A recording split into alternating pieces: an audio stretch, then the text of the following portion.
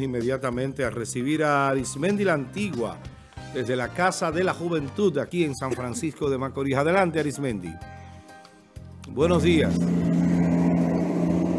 Sí, muchísimas gracias a todos los presentes en el estudio, a todas esas personas que cada día sintonizan toda la programación que el Grupo Telenor ha preparado para ustedes. Efectivamente, en esta ocasión me encuentro en la oficina regional noreste de la juventud acá en San Francisco de Macorís para tratar de buscar la reacción de los incumbentes de dicho estamento ante la polémica que envuelve a la ministra de la Juventud, Kimberly Taveras, quien pidió una licencia el lunes de esta semana al presidente Luis Abinader sin disfrute de sueldo, para poder defenderse como ciudadana, no como funcionaria eh, a, su nivel de los ministros del gobierno, como el presidente aún no le ha recibido la licencia a Taveras, ella continúa al mando de la institución, aunque los documentos que se deben ser firmados ya empezaron a apilarse sobre su escritorio, mientras la mayoría de los trabajadores en la institución eh, guardan silencio sobre este caso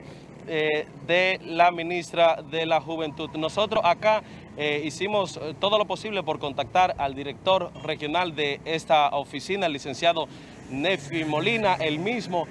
no pudo ser contactado por nosotros. También acá en esta oficina sí se encuentra la encargada provincial Anabel Ventura, la misma nos manifestaba que no eh, prefería eh, emitir ningún tipo de juicio, ningún tipo de opinión ante este caso y que va a esperar la decisión de la ministra eh, en Santo Domingo para luego fijar su posición. Hay que decir, señores, que esta polémica